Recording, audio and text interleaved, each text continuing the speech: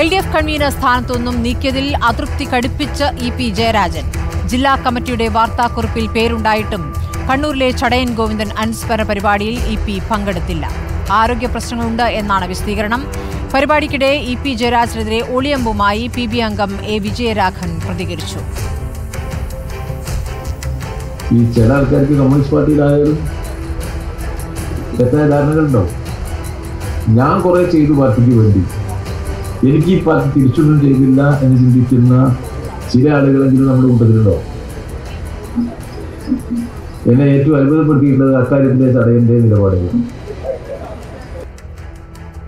E പിക്ക് ഒരു അതൃപ്തിയുമില്ല എന്നും ചികിത്സയിലായതുകൊണ്ടാണ് പരിപാടിയിൽ പങ്കെടുക്കാത്തതെന്നും സി പി എം കണ്ണൂർ ജില്ലാ സെക്രട്ടറി എം വി ജയരാജൻ പ്രതികരിച്ചു. ഇ പി ജയരാജൻ ചികിത്സയിലാണ്. അപ്പോൾ രാവിലെ വീട്ടിൽ പോയാൽ നിങ്ങൾക്ക് അദ്ദേഹത്തെ കാണാം. ഒരതൃപ്തിയും കൊണ്ടല്ല. പാർട്ടി അറിയിച്ചിട്ടുണ്ട് അദ്ദേഹം ചികിത്സയിലാണ്. രാവിലെ വീട്ടിൽ പോയിക്കൊന്ന് അന്നേരം അദ്ദേഹത്തെ ആയുർവേദ ചികിത്സ കാണാൻ കഴിയും. അർജുൻ കല്യാണ വിവരങ്ങളുമായി. അർജുൻ ചടയൻ അനുസ്മരണ പരിപാടിയാണ് ഇ പിയുടെ പേരുണ്ടായിരുന്നു പരിപാടിയിൽ. പക്ഷേ ഇ പി വിട്ടുനിൽക്കുന്നു. പാർട്ടിയുമായി പൂർണമായും അകന്ന് തന്നെ നിൽക്കുക. ഓണത്തിന് ശേഷം ഒരുപക്ഷെ സജീവ രാഷ്ട്രീയം അവസാനിപ്പിക്കുന്നതിനുള്ള ഒരു പ്രഖ്യാപനം നടത്തുക. ഇതൊക്കെയാണ് ഇ പിയുമായി ബന്ധപ്പെട്ട് നടക്കാനിരിക്കുന്നത് എന്ന് സൂചനകളുണ്ട്. ഇ പിയെ വിളിച്ചു നോക്കിയിരുന്നു. അദ്ദേഹം ആരോഗ്യ പ്രശ്നങ്ങൾ നമ്മളോട് നേരിട്ട് പറയുന്നുണ്ടോ?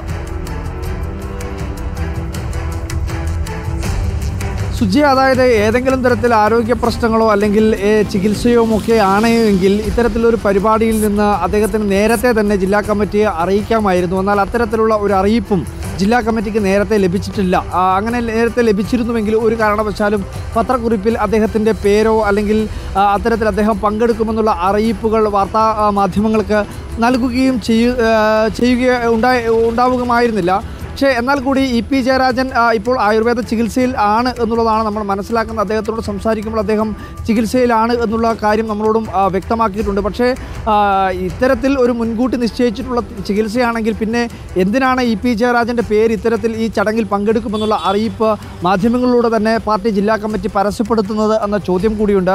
എന്തായാലും ചടയം ഗോവിന്ദൻ അനുസ്മരണ സമ്മേളനത്തിൽ നിന്നും ഇ പി ജയരാജൻ വെറുമൊരു ചികിത്സാ കാരണം കൊണ്ട് മാത്രമല്ല വിട്ടുനിന്നത് എന്ന് വ്യക്തമാണ്. കാരണം അദ്ദേഹം കഴിഞ്ഞ പത്ത് ദിവസമായി മാധ്യമങ്ങൾക്ക് മുന്നിലോ അത്തരത്തിൽ ഏതെങ്കിലും ഒരു പാർട്ടിയിലെ പൊതുപരിപാടിയിലോ അല്ലെങ്കിൽ പൊതുചടങ്ങുകളിലോ പോലും പങ്കെടുക്കാതെ പാപ്പിനിശ്ശേരി അരോളിയിലെ വീട്ടിൽ തന്നെ കഴിയുകയാണ്.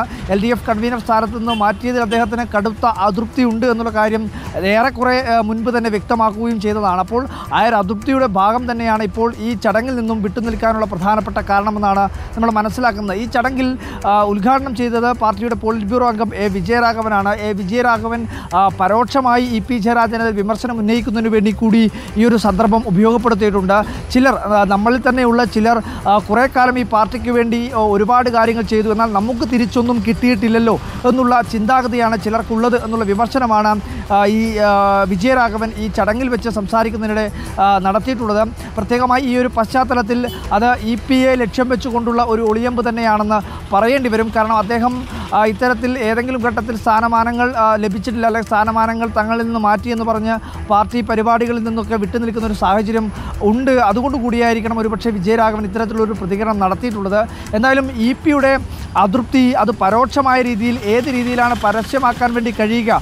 എന്ന് ഇ പി ജയരാജൻ ചിന്തിച്ചതിന്റെ ഭാഗമായിട്ടായിരിക്കണം ഒരുപക്ഷെ ഇത്തരത്തിലുള്ള ഒരു നിലപാടിലേക്ക് ഒരു കടുപ്പിക്കുന്ന ഒരു നിലപാടിലേക്ക് ഇ പി ജയരാജൻ എത്തിയത്. നേരത്തെ സ്മൃതി സൂചിപ്പിച്ചതുപോലെ തന്നെ ഒരു പക്ഷേ ഒരു രാഷ്ട്രീയപരമായി തന്നെ ഒരു വിരമിക്കൽ സ്വയം വിരമിക്കൽ പ്രഖ്യാപനം ഉണ്ടാകുമെന്നുള്ള രീതിയിൽ രാഷ്ട്രീയ നിരീക്ഷകരെല്ലാം അത്തരത്തിലുള്ള ചില കാര്യങ്ങൾ നിരീക്ഷിക്കുന്നുണ്ട്. അപ്പോൾ ഒരുപക്ഷെ അത്തരത്തിൽ ആത്മകഥയൊക്കെ എഴുതി കേന്ദ്ര കമ്മിറ്റിയിൽ നിന്നുൾപ്പെടെ ഈ പാർട്ടി കോൺഗ്രസ് നടക്കുന്നതോടുകൂടി തന്നെ വിടവാങ്ങുന്നതിന് വേണ്ടി തന്നെയായിരിക്കും ഒരുപക്ഷെ അദ്ദേഹം തയ്യാറാവുക എന്നുള്ളതാണ് മനസ്സിലാക്കുന്നത്. അത്തരത്തിൽ ഒരുപാട് വിവാദങ്ങളിലൊക്കെ പോയി പാർട്ടിയെയും അതുപോലെ തന്നെ തനിക്ക് വ്യക്തിപരമായും അത് ഒരുപാട് കളങ്കമുണ്ടാക്കുന്നുണ്ട്. അതുകൊണ്ട് എല്ലാം അവസാനിപ്പിച്ച് വീട്ടിലേക്ക് ഇരിക്കുക.